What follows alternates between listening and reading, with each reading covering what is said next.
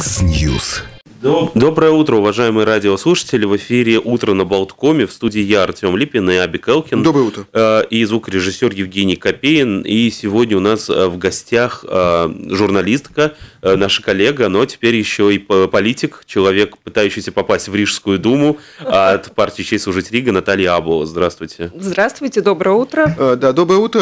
Может быть, такой вопрос, такой, может быть, ближе к нам всем, это то, что происходит вообще на телевидении, я имею в виду на латвийском пространстве, такие последние, такие, тех- я считаю, такие довольно существенные изменения. Мы видим, что ну, под угрозой закрытия оказался Первый Балтийский канал, Э, идут разговоры о том, что пора переводить только на интернет-платформу вот, э, те новости, которые остались на ЛТВ-7, э, совсем не чужом вам канале. Вот, на ваш взгляд, это больше все-таки политический или экономический процесс? С моей точки зрения, это больше политические процессы. И это можно было предугадать еще и несколько лет назад, когда проводился Ребалтикой опрос э, людей, связанных с телевидением, имеющим, имеющих опыт на телевидении. Э, в том числе опрашивали и меня. И, по-моему, это было 3-4 года назад. И я предрекала к сожалению, хотя я оптимистка, но очень пессимистично, предрекала смерть э, русского телевидения в Латвии. И, к сожалению, все это происходит. Абик, э, ты сказал, что я так связана с ЛТВ-7. Да, очень, но я также связана с ПБК, потому Да. что проект э, новостей начинала я со своими учениками, выпускниками школы телевизионного мастерства.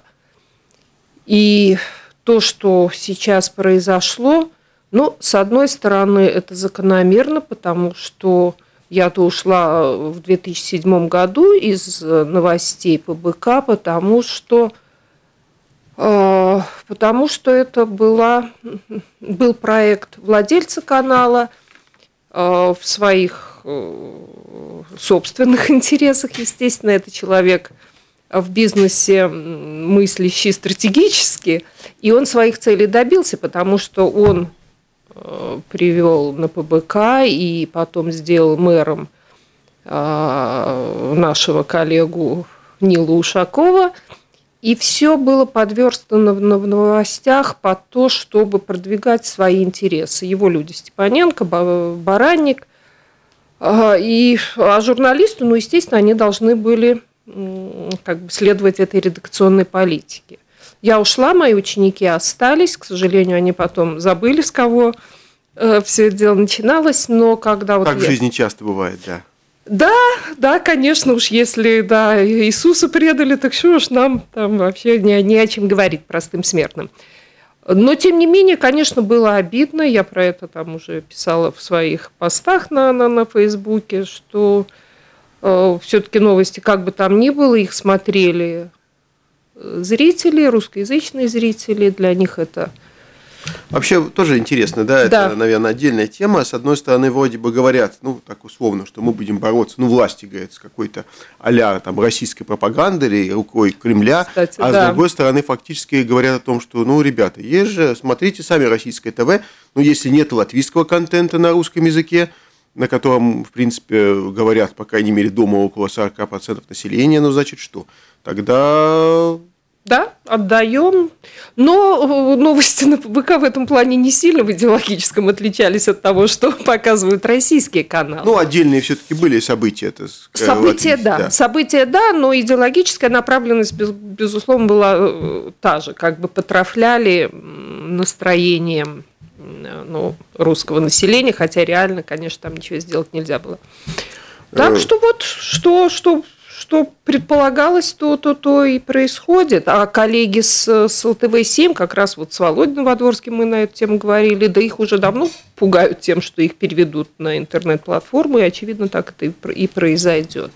Так что, увы, увы. А вот э, если вы как бы вот э, сказали бы, что вот надо, не знаю, там возобновлять вот эту школу журналистики и так далее, а были бы желающие? Или с учетом того, что фактически сейчас непонятно, где дальше работать, может быть, и желающих бы не было? Я прекратила э, набор в свою школу тоже, по-моему, три года назад. Уже предчувствуя... Не, не предчувствуя, а просто мне, я всегда своих учеников лучших, которые подавали надежды, я куда-то их распределяла, они работали То есть, на телевидении. вы сами на себя брали такую э, обязанность, если ну, так можно сказать. просто да? это, я считала, что нечестно э, подготовить людей и, сказать, ну, и не дать сам им, как-нибудь, да, да. и не дать им возможности.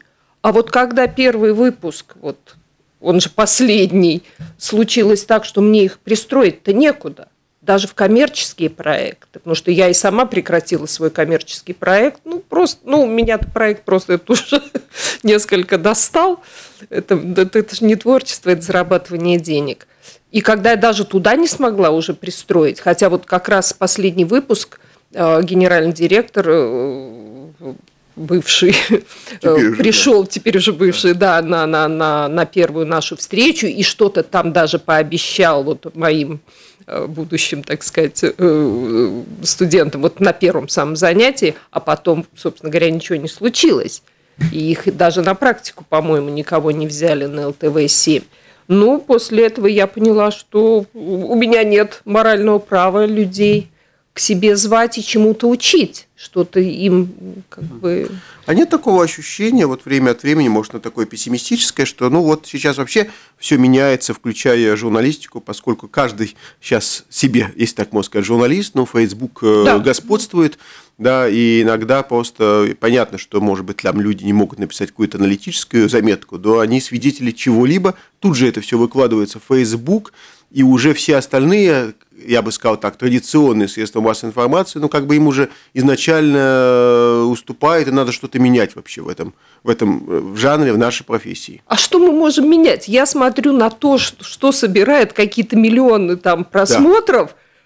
И я понимаю, что я абсолютно бессильна создать такой контент. Я, я не в состоянии. Я даже буду думать над этим, но я этого не придумаю. А Мне... Почему? Потому что это тупо, извините. Ну, миллионы же собирают не только какие-то, я не знаю, там, челленджи, анбоксинги. Миллионы собирают и интервью Юрия Дудя, к примеру. И фильмы Алексея Пивоварова тоже собирают ну, миллионы наверное, просмотров. Ну, пив...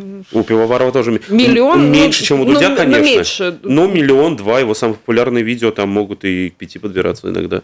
Ну, Даже у, у, у Солодонникова еще не Познер, у него тоже интервью собирают хорошие числа, хотя там не самые э, распиаренные, скажем так, персонажи. То есть появляется журналистика в Ютубе. Я собираюсь как раз делать э, ютубовский женский... О, угадали, да? Угадали, правда.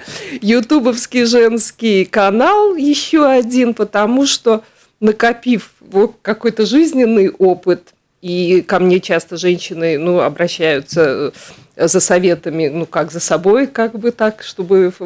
А в женский что будет входить? То есть... э, Псих... Что-то такое психологическое, что-то по уходу за собой. Ведь для того, чтобы сохранить себя в хорошей форме, в, в, в, ну, в приличном уже возрасте, ну, нужно в голове многое поменять. Не, это не только уход, ну, в том числе и уход какой-то практически косметический, но это внутреннее содержание. То Тут... есть это не просто женский, а даже такой для, для женщин уже постарше? Ну, именно, для женщин 50 э, плюс. Даже так, 50 плюс? 50 плюс. Очень популярный проект 50 плюс возраст э, счастья. Угу. И мне это очень близко и понятно, потому что ну, мы реально сейчас живем дольше – и мы реально дольше моложе. Мне мой возраст, ну, конечно, никто не... Ну, я уж так говорю, конечно, потому что действительно постоянно это слышу, что никто мой возраст мне не дает. Уж могу сказать там радиослушателям, что мне 67 лет. Ну, вот, вот, вот и вы да, сказали, да, да. о. Да. Это вы так шутите с утра. Ага, ну вот шучу. А на самом, а ощущаю я себя, вот недавно я с, с внуком говорила, внукам я тоже редко говорю. Вот. Внук, еще раз удивили. Да? Еще раз удивила, потому что... А внуку сколько? Он 17 будет в апреле. А Роберт мне меня все время пугает, ну, как, когда мы с ним там как-то так погрызаемся, что он меня назовет опять с словом на, на, на букву «Б», чего я очень не люблю. Конечно, он меня по имени называет. Не бабушка все-таки, да? Ну так вот словом на букву Б. Да. И он так, если что, а, вот сейчас я тебя, значит, назову так, я ему, а, Роберт. И э, говорят же о том, что есть у человека какой-то вот перманентный возраст, на который он себя ощущает. И я так думала, ну, 30, там, я не знаю. А потом вот общаясь с Робертом, я, а мы с ним вот такие оба, он очень похож на меня, такие искры вышибаем. И я поняла, что мне-то не, не, не 30 и не 20, что мне 16 внутри. А это э, вам уже всегда, вам всегда было 16? Или в какой-то момент вы омолодились? Нет, не омолодилась. У меня вот это перманентное состояние. Такое. Потому что вот нет такого, что как только появляется какая-то внутренняя ответственность, ну, когда вы там управляете а большим количеством людей. ответственность. Ну, вот именно, разве это не, не выбивает немножко из этого Это вот другое. А вы знаете, это как-то другое. То есть ответственность, естественно, у меня всегда какая-то ответственность. Э, но, но нет. Нет. Вот, э, поскольку у вас тоже большой опыт э, и такой общественно-политической, может быть, жизни, такого э, хотел бы задать. Но вот мы помним в 90-е годы все эти знаменитые разговоры, там, покупка, там, не знаю, избирателей за бананы. Да, да или да, красивая да. прическа. Ну, мы помним, на телевидении появляется человек, красивой прически, и определенная категория населения обязательно идет и его поддерживает. Да. Вот э, казалось бы, что вот это ушло в прошлое, сейчас другие методы и так далее, но тем не менее мы видим, ну, от выбора к выборам какие-то силы начинают говорить, там, не знаю, всем по 500, ну, помните, там, зарплата 500 а, минимальная, да. Э, там, пенсия минимальная 500, миллион деревьев. миллион деревьев, да, там, 2 миллиона, кто посчитает деревьев, и все вроде так пожимают плечами и говорят, да, ну, уж зачем такое фантастическое обещание давать, но тем не менее это работает. Вот э, возникает вопрос, ну, вроде бы, если мы говорим в начале 90-х, ну, люди еще не приучены к демократии, там, советские люди, им можно вешать эту вот, не знаю, лапшу на уши. Сейчас почему это все работает? Новое поколение выросло, которое в этом верит, или все равно вот люди клюют на эти обещания? Люди верят словам по-прежнему. Но у нас тоже в нашей программе, например, есть обещание к 2025 году учителям поднять зарплату на 2000, до 2000 евро но это просчитано вообще-то. Да нет, я о чем и говорю, что да, это же не с потолка. Вы же это не написали, абсолютно не с что потолка. мы 2025-го 10 тысяч дадим им э, зарплату. Простите, нет, это... это просчитано, потому что есть государственная программа, и по государственной программе, вот если она будет да, действовать, то к 2025 году будет полторы тысячи. Полторы. Остальное а доплачивает Дума самоуправление. каждый год будет добавлять по 100 евро, так же, как добавила 100 евро Э, Воспитатель. детских садиков. То есть, то есть вот, ваше обещание 2000 евро, оно, оно, бази... оно базируется на государственной программе. И если, скажем, государство не сможет э, и эту программу обеспечить, то и вы свои обещания не сможете выполнить. Да, но свои 100 евро мы добавим. Потому что вот э, честь служить Риге партии рассчитывает, не рассчитывает на то, что она будет в оппозиции. Она рассчитывает на то, что она будет в позиции. Почему? Потому что в этой партии прагматичные люди, что мне очень нравится. Вот когда я разместила этот э, пост в Фейсбуке о том, что я иду на выборы, конечно, были там и всякие, ну, на, на, на 160 положительных комментариев, 4, скажем, 4 человека, 3-4, э, которые там что-то Нет, ну, такое... это стандартный вариант. Да, Если... но, но меня радует, я не думаю, что так много поддержки будет, потому что я думала, ну, сейчас как бы, да, все, все это понесется. А, да, вот это очень хорошо, что вы это, это, эту тему затронули, она весьма важная. Вот, э, ну, раньше как считалось там, ну, не знаю, даже в 90-е годы, несмотря на все скандалы, все говорят, да депутат, да, неважно какого уровня депутат, говорит, депутат, чуть ли не с придыханием. Потом даже сами мне вот опытные политики, которые работают в парламенте уже не один созыв, я не, не самоуправление парламента, они говорят, знаешь, мы даже в какой-то момент уже стесняемся вообще, так сказать, в обиходе говорить, Верно. что мы депутаты. Потому что да. очень скептическое бочком, бочком, отношение, да. совершенно верно. И вас это вообще не Это пугает? обоснованно. Э, что меня порадовало в этих комментариях? что мне говорят, вот, вроде вы идете в такую скользкую сферу, мы, но лично вам мы желаем удачи. То есть все-таки это такой Они... личностный аспект имеет значение, да? Оказывается, да. Но как бы даже меня предостерегает, что вот вы-то, мол, ну, то есть нет, слава богу, у людей нет сомнений в, как, в каких-то моих намерениях честных, но предостерегает от того, что я иду вот в эту сферу, которая совсем не такая уж и а вы, когда говорите о прагматизме чисел Рики, о том, да. что вы ну, надеетесь быть в позиции в Рижской да. думе, это значит, что вы готовы к ну, совсем разным союзом? Или все-таки есть какие-то там, э, не знаю, партии, с которыми вы не будете сотрудничать? Ну, лично для меня, конечно, есть какие-то вот эти красные линии, хотя ну, ну, наш номер один, Олег Буров, говорит, что этих красных линий нет. А для вас они я, какие, я если ведь... не секрет? Ну, честно говоря, какая-то такая резкая националистическая, такая определенная позиция для меня, это, это, это является красной А если линией. вот партия решит все-таки... Э, Не знаю. Вот вы, э, Абик, сначала представил меня как там будущего политика. Я, честно говоря, вот эту работу в самоуправлении как политическую это не рассматриваю. А как хозяйственную, да? Конечно. У меня социальные... Я вот чем занимаюсь сейчас, когда нет телевидения, это социальными проектами, э, благотворительными проектами это то, что, вот, вот, что меня интересует и чем я и намерена заниматься. Политический аспект, ну, есть у нас опытные политики, да, Турлайс, достаточно безукоризненный человек, которому нечего предъявить в плане там компромата или чего-то такого. Олег Буров, он себя очень хорошо, кстати, проявил вот во всех этих э, ну, конфликтных ситуациях. Ну, а как я буду знаете, но есть вещи, против которых я все равно, независимо от э, ситуации, против которых я буду и, и буду высказывать свое мнение. А заниматься собираюсь социальными проектами. Не быть политиком. Я плохой политик. Ну да, вы так я действительно то, что... улыбнулись, когда я сказал политик сразу. Да, да, да, да. 67212 93 У нас есть звонок, мы сейчас его примем. Одевайте, пожалуйста, наушники. Наталья Албова на студии. Доброе утро, слушаем вас. Э, здравствуйте. Да, слушаю. Анатолий. Вот Наталья говорит, что она пойдет в политику и будет... Да говорит, что не пойдет в политику, а в хозяйственную деятельность Рижской думы. Ну да, да. Ну хотите, чтобы там передачи делать про женщин, которые будут красивы. А это не зависит ни от чего. Не, а знаете, в Латвии, точнее даже в Риге, особо в этом смысла нет. Ну как бы, это я так образно говорю.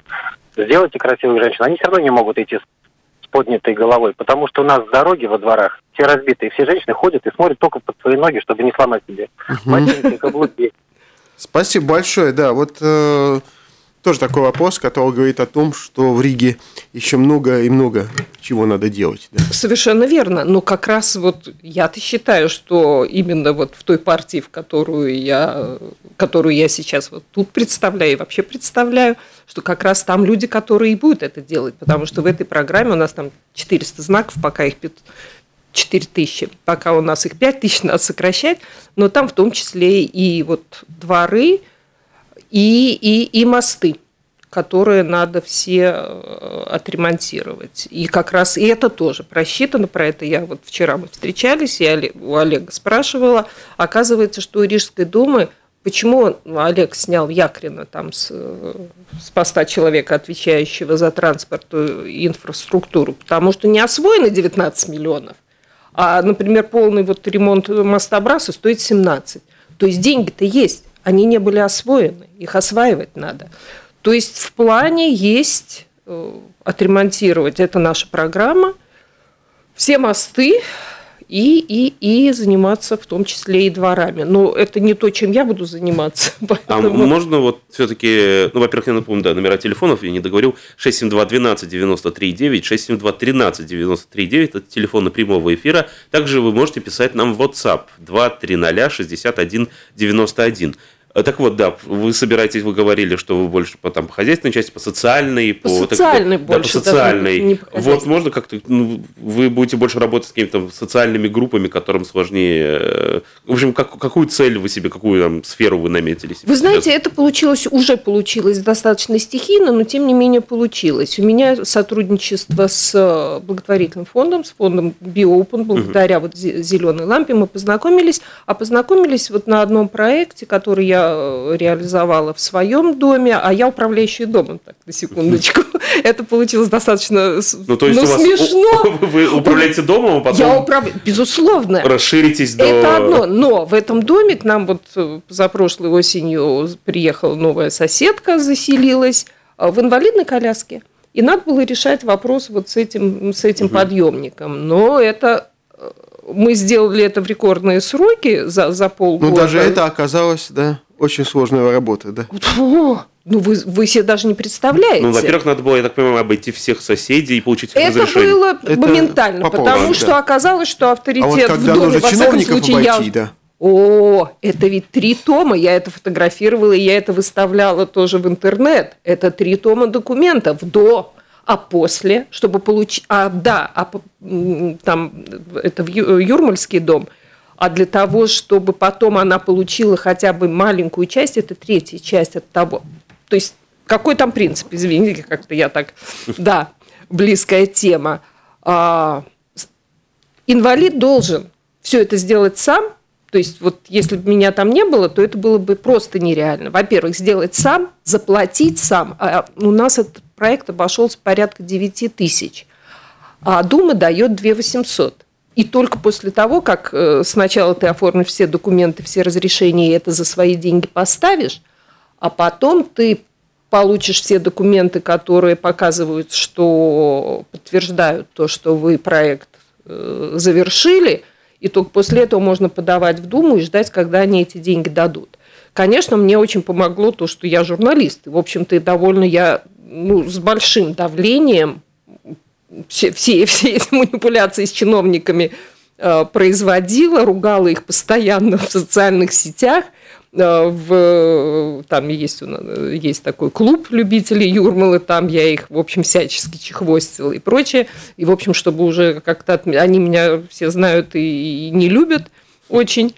Э, Да, ну я как-то очень даже и довольна этим моментом, то есть как это скорее плюс. Ну, короче говоря, вся эпопея от и до заняла всего полтора года, причем из этих полутора лет полгода только, только полгода, и мы, мы этот лифт сделали, и дорожку, и все-все-все, ну, чтобы все дооформить и получить последнюю денежку, э, понадобилось полтора года. Так что, да, То есть вы планируете в Риге заниматься вопросами людей с инвалидностью? в например? том числе и пожилых людей, что мне тоже очень близко. В моем доме много э, пенсионеров, стареньких уже совсем, там тетушек, которые там вот 69-го года как построили этот дом, э, и там тоже свои сложности. Э, Я говорила о том, что у нас, у телевизионных журналистов, ну, я не знаю, как у вас, есть, ну, на- наверняка вы это тоже используете, понятие персонификации, когда ты берешь историю одного человека или решаешь а потом делаешь обобщение. И вот как раз тут у меня прям вот есть какая-то про- программа, которую я как раз сейчас вот в этот предвыборный период хочу встретиться с м, инвалидными обществами, рассказать про то, как я это вижу, и обсудить вот, вот, вот правильно, в правильном ли направлении я мыслю, чтобы решить проблему в целом для, для людей, чтобы не надо было ждать по несколько лет. Ведь я знаю, что и в Риге там по пять лет люди ждут этих подъемников. Тут другая ситуация, тут все оплачивается, и документы все оформляются э, ду- Но все Думой. равно это занимает Это за пять лет, а мы Да. сделали за полгода. А, у нас еще один звонок, давайте мы его Да. примем. Э, Доброе утро, слушаем вас, пожалуйста. А, Доброе утро. Э, Наталья, вот мы с вами примерно одного возраста. Я подошла к 90-м э, примерно в таком же возрасте, что и вы. Я помню, как вы вводили свою дочь еще до появления у вас внука на телевидении. Да. Да. Но вот эм, я часто слышу в передачах от ведущих, что вот наши партии – это наше отражение. В таком случае я говорю, что ваши партии – это ваше отражение. У меня такой вопрос. Почему вы думаете, что люди опираются в своем выборе на обещания депутатов и на обещания партии, а не на свой 30-летний опыт, в том числе и в общении с депутатами. Это вопрос, да? И еще комментарий. Вот э, в 2002 году я была членом избирательной комиссии. И сидя на избирательном участке, я тупо читала программы э, всех партий в Латвии с Вестнесис, да? Вот прошло 18 лет. Ну, извините, программы и обещания и ныне там. Спасибо.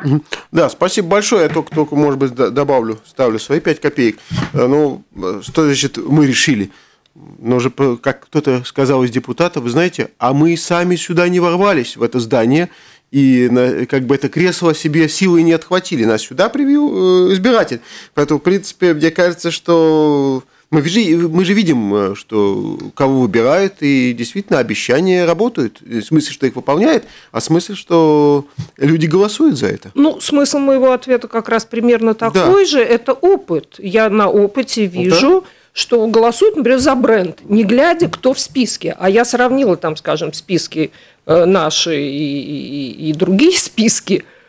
И я, и, например, в другом списке я, я, я вообще этих людей не знаю. Я журналист, который, в общем, как-то очень активный, социальный, и все, я не знаю этих людей. Так они друг друга не знают еще. Ну, это другая история. Да. А вот что мне нравится у нас реально, я когда посмотрела список, вот у нас был э, этот съезд, ну так я вижу авторитетных людей в каждой, как, известен в своей сфере. Даже Байба Розентала, ну сейчас, конечно, это вообще э, номер один, хотя в списке она там номер три, наверное, или четыре, э, но понятно по актуальности темы, там тот же Буров, который строит в Риге, там, я не знаю, тот же Турлайс, известный т -т -т -т, э, спортсмены, велосипедист наш Вестур Силинекс, ну, директора школ, Алиев – в общем, очень популярный человек, директор школы. То да. есть народ такой. Но... Давайте мы еще, может быть, а, примем да, у нас еще... звонки по двум линиям. Э, доброе утро, слушаем вас, пожалуйста. Доброе утро. Вот вы сказали, э, госпожа Абал, что у вас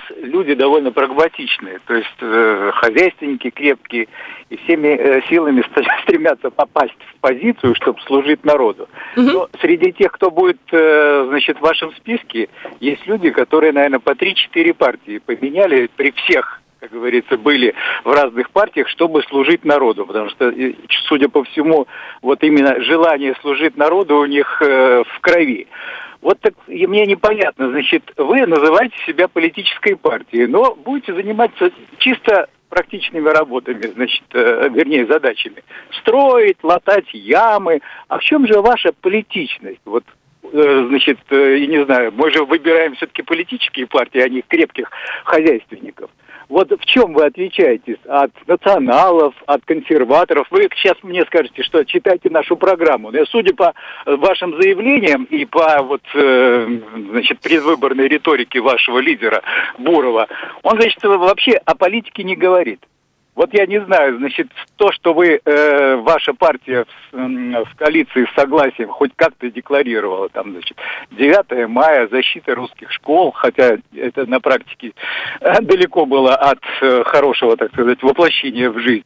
Вы вообще-то что-то будете в этом направлении делать? Или вы будете весь упор делать на то, что, значит, надо латать ямы, значит... Э, Понятно, спасибо, спасибо большое, да. вопрос ясен. Время у нас да. немножко ограничено.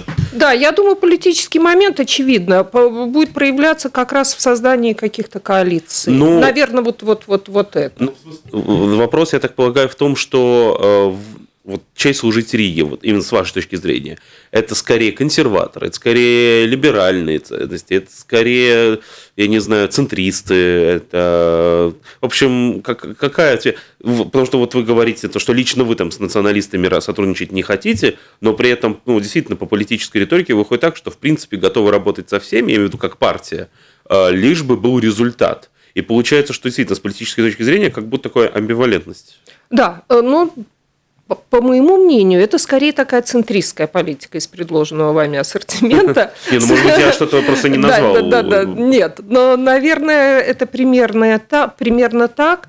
А совершенно логично, что идя э, на выборы в Рижскую думу, это же не выборы в парламент – что акцентируют хозяйственные вопросы. Ну, просто это немножко связано с тем вопросом, который я хотел задать до этого. Да. А, вы часто там говорите о том, что вот и люди вам писали в комментариях, что лично вам доверяют, но да. А, там к партии есть вопросы. И у меня, скажем... Не к партии, а к отдельным ну, людям, которые людям при власти были уже да, в Думе да, много лет. Да, да ну и ну, во многих партиях существует такая проблема, что там есть люди, которым ты лично, там, либо ты их лично знаешь, либо ты давно наблюдал за их деятельностью. Вроде лично этим людям ты доверяешь, это неважно, это муниципальные выборы или там уже латвийские, а, но сама партия по своим заявлениям не симпатична.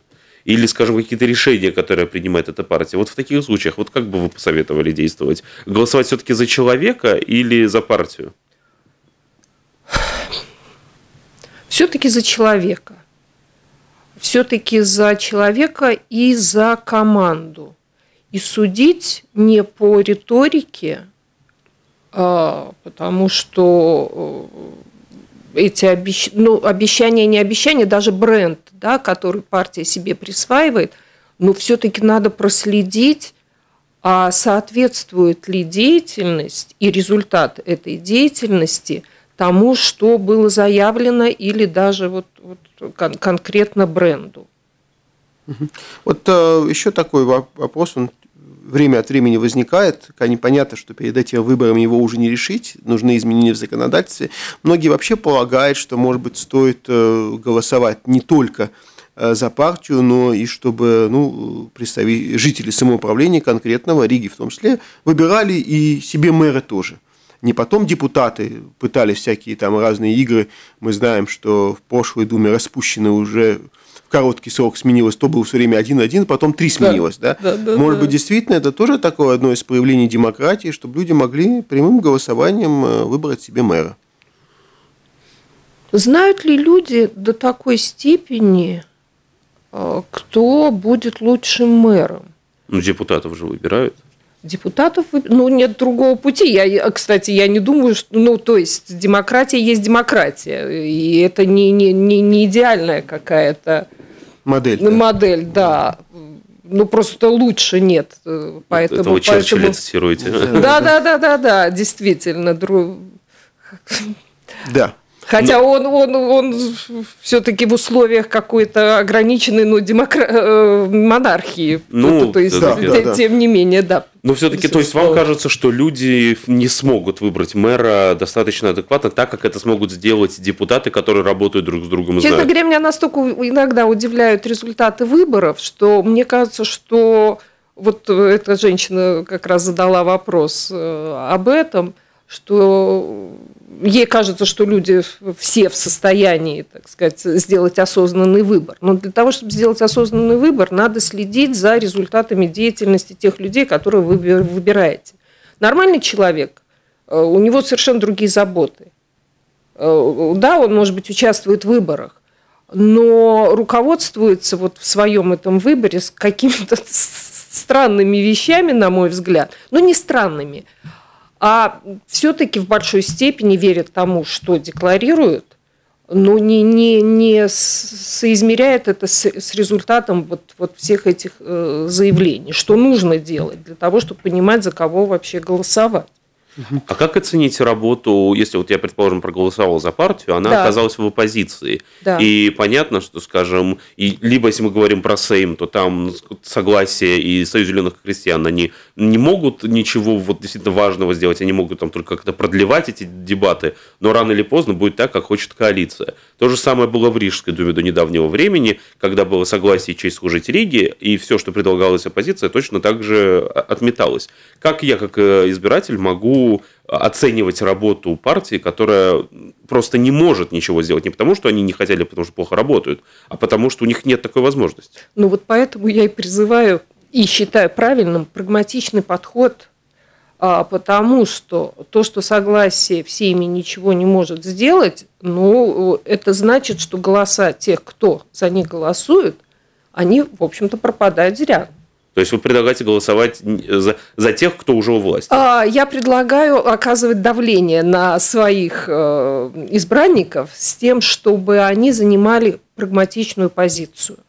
И тогда у них будет возможность, а прагматичная позиция, это значит входить в какие-то коалиции, потому что, ну, если есть какие-то ну, красные линии, на которые уже никак нельзя перейти, э, это одно но есть какие-то э, варианты, и это всегда будет лучше, чем э, оставаться в оппозиции и, и, собственно говоря, просто тратить деньги. Худой, ми, худой мир лучше доброй ссоры. Да, посмотрите, в Юрмале э, согласие в, в, в коалиции с зелеными.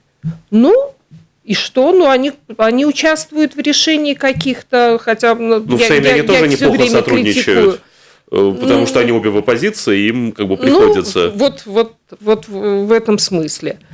Поэтому, мне кажется, вот такой прагматичный подход, он как раз и хорош. Э, да, давайте примем звонок еще один, по крайней мере, успеем принять. Э, доброе утро, слушаем вас. Да, доброе утро. Смотрите, а журналистам некуда деться. А возьмем журналистов, как Ушаков, Кайминш, Мамыкин. А, мне кажется, что схема работает следующим образом. Партии, по сути дела, все те же самые. Как они нас грабили, так и грабят. Но перед выборами они берут какую-то медийную личность, ну, какого-нибудь журналиста, и отводят внимание на него. Потом эта партия опять выигрывает, этого журналиста берут в сторону, и нас продолжают далее грабить.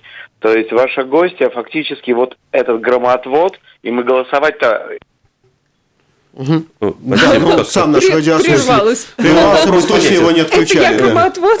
Ну, ну, Ушаков в этом, как бы, в этом списке как-то странно, на самом деле, смотрится. И вот как раз никто не убирал из партии. Но да, в целом какие-то такие, как вам кажется, есть такое, что выбираются медийные личности и используются как... Нет, ну, конечно, используются популярные люди, используются, но я бы... Так они вот- во всем мире используются. да. Ну, так естественно.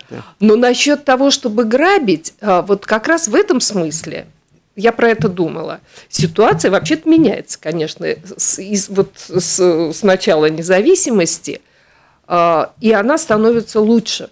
А, Потому что, во-первых, смена поколений. Меняются какие-то у, у молодого поколения, ведь 7, смотрите, переизбрали больше, чем на 50%, а, меняются подходы.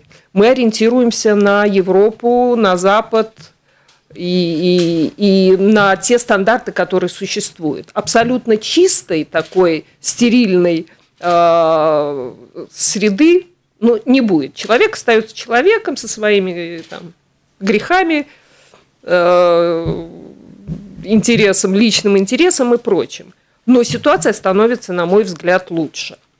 Вот, я так думаю. У меня еще такой вопрос был. И новые люди, кстати, такие, вот, кстати, как и я, э, если их будет больше, то, то ситуация будет Лучше. улучшаться, да, но, но она и улучшается, я это вижу. Э, Мне интересно, что, как вы прокомментируете это, потому что я заметил, что, ну, в общем, конкретный пример. Инс Кьюзис, бывший глава полиции, э, он тоже будет участвовать э, Да. в выборах, а, но он, когда сказал об этом, сказал, от какой партии он пойдет, и он еще в том числе сказал, что мне и честь служить Риге предлагали, но, мол, я выбрал э, других. Да. А, И сразу на- налетело много комментариев с таким ну, смыслом, что, мол, я-то думал, что он порядочный человек, а выбрал э, не ту партию, которая нравится мне. Ну, по сути, Да. как кажется, насколько вот вообще, вот говорите, что у вас тоже были такие люди, хоть Да. и мало, а насколько это справедливо, если э, что о человеке судят по политическому выбору? Но мне-то, конечно, это обидно и кажется несправедливым, когда есть, меня может в этом хороший упрекают. человек придерживаться совершенно других э, националистических э, взглядов, я имею в виду, не нацистских, не националистических, я э, отдельно подчеркну, или ну, совсем других, которые коммунистических, которые у нас запрещены. Безусловно, может. И я с этой ситуацией столкнулась у себя на телевидении, когда есть там, ну, у меня очень симпатичная коллега, я у нее участвовала в культурной редакции, и я участвовала в одной, э, как гость в, одной из ее программ, а после этого был, наверное, накануне 16 марта, и мы стали говорить о легионерах, и она буквально со слезами на глазах защищает этих пожилых людей. Для меня это совершенно неприемлемо. Ну, мой отец воевал, всю войну прошел, мы там с сестрой э, играли в детстве его медалями и так далее. А, ну, но она мне очень симпатична, она интеллигентный человек. Я, я принимаю, я понимаю ее. Но у меня и вообще такая амбивалентность в национальном плане, потому что э, у меня бабушка латышка, э, ну, папа, папа латыш, хотя он э, в семье мы всегда говорили по-русски. Я эту ментальность, она во, во- во мне. Мне не надо перестраиваться в, в- чисто латышском это- обществе. А эта коллега, она вам, есть ее объяснение, почему люди ходят на 16 марта, вас устроило, потому что мне мой одноку- однокурсник, когда я учился Да. в университете, вот именно я переехал тоже в Ригу из Даугавпилса, из, из Да. русского города, по Да, сути. да. А, и тогда я тоже получил вот другую точку зрения на эту дату, и как-то немножко, ну, я понял, почему люди туда ходят. Вы поняли? Ее поняла. А людей... Ее поняла, но я, я, я не могу этого принять, потому что это люди, которые сотрудничали с, с фашистами. То есть для меня это совершенно неприемлемо. Но она смотрит с другой точки зрения, что их, э, что они за свободную Латвию Да, про- против. Вот. И, и я ее понимаю. Но не принимаете. Нет. Нет, но это не значит, что я перестала ее уважать или с симпатией к ней относиться. Я по-прежнему так к ней отношусь и надеюсь, что и она ко мне, несмотря на то, что тоже знает мои взгляды. Э, вот такой Вот- вопрос, вот да, может быть, в завершении, так вот время быстро бежит, поскольку вы имеете опыт, если так можно сказать, проживания не только в Риге, но и в других городах Латвии, в Юрмале, вот Ну, говорили, только да. в Юрмале. Да, вот многие э, рижане, не только политики, они живут в ощущении, их можно тоже понять, в то, что, ну, понятно, что Рига самый большой город, больше 50% ВВП страны, это все мы знаем, понимаем, но все равно есть такое ощущение, что вот э, Ригу постоянно, может быть, это было связано вот э, с политическими нюансами, но тем не менее Ригу постоянно, ну, как бы так вот нещадно эксплуатируют, то есть фактически рижане должны и финансировать э, большинство самоуправлений фактически из своего кармана, этот фонд выравнивания, потом им сказали, что вы закупили какой-то хороший этот общественный транспорт, за это мы вам накажем, из бюджета денежки отберем и так далее. Да вот, ну, это ведь совершенно ненормальная ситуация, да, вот когда вот за счет одного самоуправления пытается вот таким вот образом, ну, по существу, не, не доплачивая тем же рижанам. Может быть, поэтому у нас отчасти никого не оправдывает дороги такие. Потому что мы должны помочь построить дороги во всех других э, властях и краях Латвии. Но ведь в Риге и, и доходы, ну, Рига получает гораздо больше. Э, Здесь бо- больше всего рабочих мест. Тут в Риге действительно больше. Это так же, как Москва по, по сравнению со всей остальной Россией. Сюда истекаются эти деньги. М, Вам кажется это справедливым? Думаю, что да. Я как человек, который э, любит делиться, я, я считаю, что да. Но это, знаете, это не политическое заявление, это мое личное, личное мнение. Ну что, спасибо. Так вот время у нас, э, Да, видимо, быстро прошло. подошло к концу. Быстро. Наталья Аблова у нас была в студии, наша коллега. Э, Спасибо большое.